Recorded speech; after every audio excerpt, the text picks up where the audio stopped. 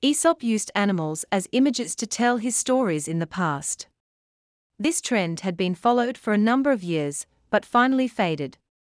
Ted Hughes revived animal imagery. Numerous animal lovers exist even today. D. H. Lawrence is also considered a good animal lover, but Hughes' illustration is different from his in every sense. He is prominent among them all. In fact, he is one of the most famous poets who love animals. Ted Hughes' work is remarkable due to the excessive use of animal imagery. He does not only use them for portraying images, but also for symbolic purposes. Ted Hughes uses animal imagery in his poetry for the following purposes symbolism, show violence, portraying themes, and metaphors. Every image conveys a unique message to the readers. Ted closely observes animals and depicts a truthful and vivid picture. Every poem reveals his close connection with them. Ted's biography reveals that he very closely experienced animal nature. It is, therefore, he has the largest collection of animal images. He starts a poem by illustrating a simple image of an animal and then thematically explains his subject through the technique of symbolism. He also uses animals as metaphors in order to make his subject clear.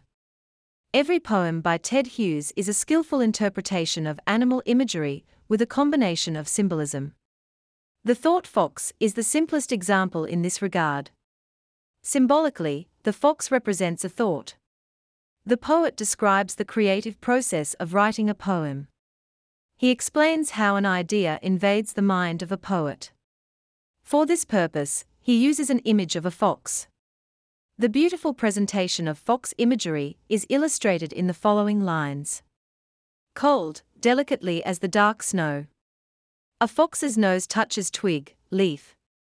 Two eyes serve a movement, that now. And again now, and now, and now. In the end, he writes.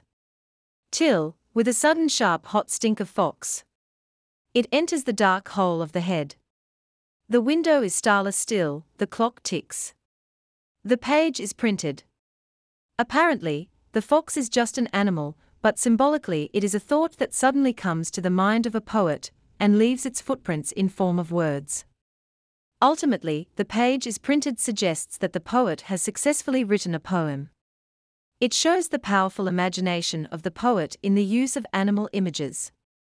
Moreover, only animal imagery not makes Ted Hughes' poems magnificent, but also their symbolic significance. Symbolic representation of animals makes his poetry marvelous. A variety of realistic animal imagery glorifies the poetry of Ted Hughes. Every image is true to nature. Moreover, every animal serves a purpose and symbolically refers to something to the readers. To explain, another poem, which is worth mentioning, is That Morning. In this poem, the poet goes fishing with his son.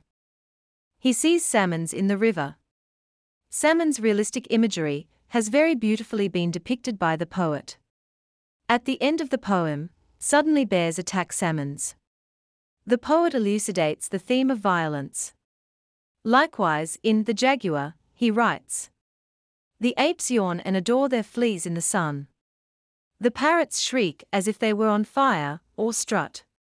Like cheap tarts to attract the stroller with the nut. Fatigued with indolence, tiger and lion lie still as the sun. Full moon and little Frieda also contain two symbolic animal images. One is a dog and the second is a cow. Animals do not serve only the purpose of symbolism, but also naturally adores the poem. In order to understand animal imagery in Hughes's poems, good intelligence is always required because it always symbolically explains something.